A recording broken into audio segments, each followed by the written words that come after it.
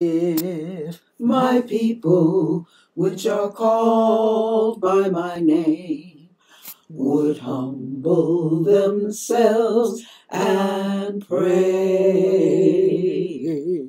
If my people, which are called by my name, would humble themselves and pray.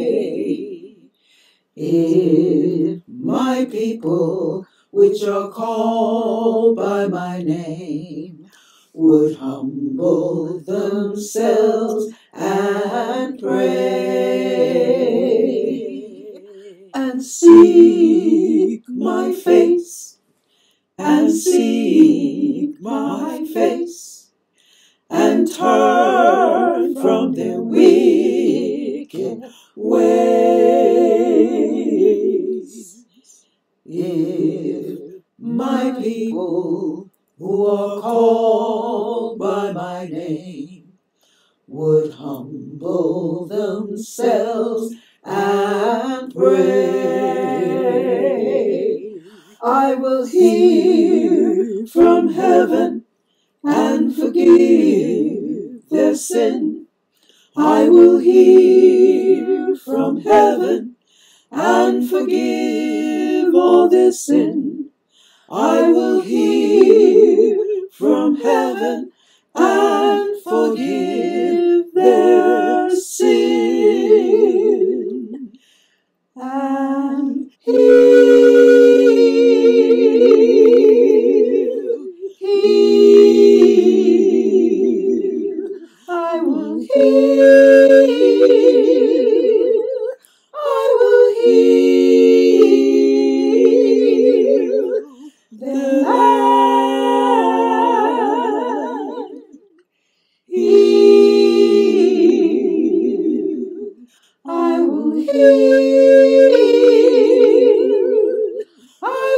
That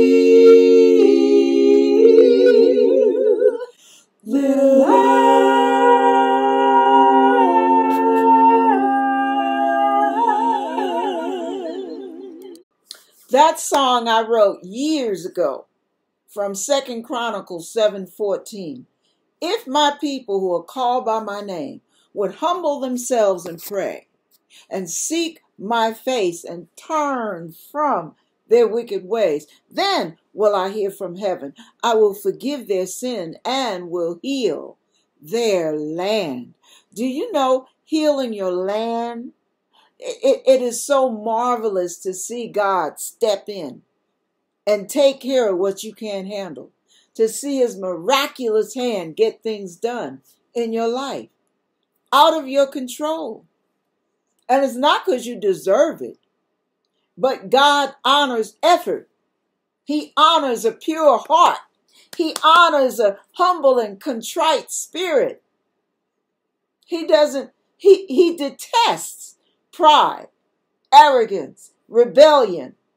He says rebellion is as the witch is as witchcraft.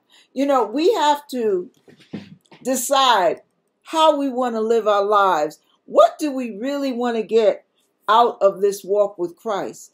Because even when we look at our country, we look at any group of people, any church, any neighborhood, any city, state, whatever. You know what God says in His Word? Righteousness exalts a nation. Can you imagine how much higher we would soar if we were determined to live a righteous life? I know the Bible says we all fall short of the glory of God. I know that.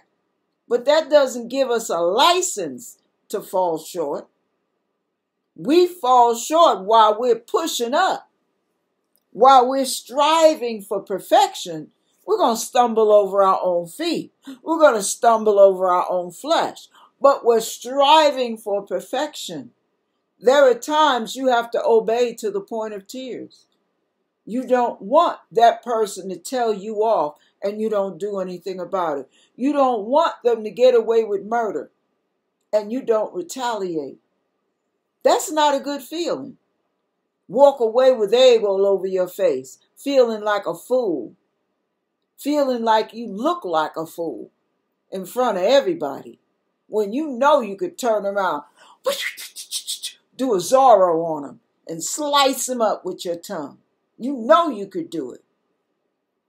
But because you love God, you eat that crow and you walk away with your head hung down. But see, God vindicates us. He honors obedience. That's why he says in the scripture, the Lord has not forgotten mm. your labor of love. You know, it's a labor of love to do everything God's way, even when it hurts, even when we feel humiliated, even when we feel like we come out on the losing end and the enemy wins after being altogether wrong. But we don't realize how much we really won.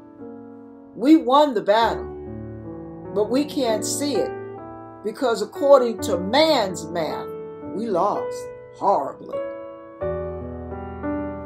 Righteousness exalts a nation. If we could just be determined to live our lives with hearts full of God's type of love, agape love, and hearts determined to live holy.